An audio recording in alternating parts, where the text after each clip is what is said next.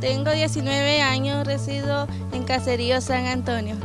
Mi nombre es Diana Navas, 16 años, resido en Colonia Santa Lucía.